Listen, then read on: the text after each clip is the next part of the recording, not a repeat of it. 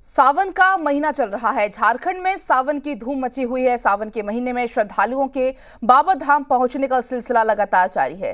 सावन में अब तक कुल पंद्रह लाख उन्यासी हज़ार कांवरियों ने बाबा वैद्यनाथ को जलाभिषेक किया है।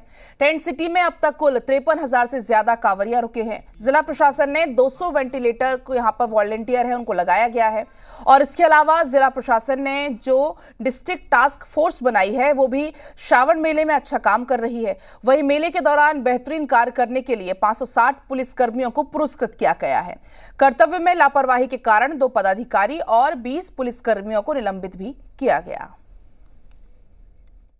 श्रावणी मेले में अब तक कितने श्रद्धालु बाबा भोले को जलाभिषेक कर चुके हैं और किस तरह से लगातार जो दो सेम सोमवारी है, वो बेहतर तरीके से निकली है, हम देवघर उपायुक्त महोदय से समझने की कोशिश करेंगे। सर, अब तक जो श्रद्धालुओं की संख्या रही है, वो कितनी रही है? तो अभी तक जो 26 जुलाई तक जो है, पंद्रह लाख उन्नासी हज़ार लोगों ने जलार्पण किया है और उसमें से आठ हज़ार पाँच सौ से भी ज़्यादा शीघ्र दर्शनम के माध्यम से किए हैं।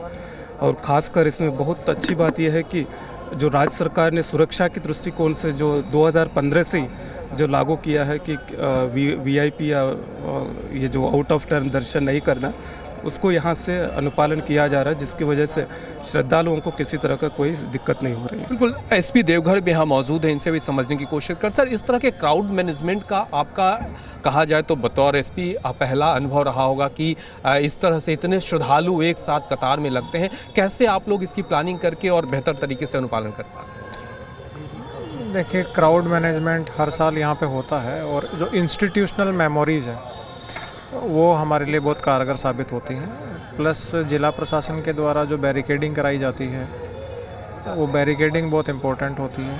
और पुराने लोगों के अनुभव को हम लोगों ने बहुत आत्मसात किया है। पुराने ऑफिसर्स को हम लोगों ने डिप्लॉय किया है।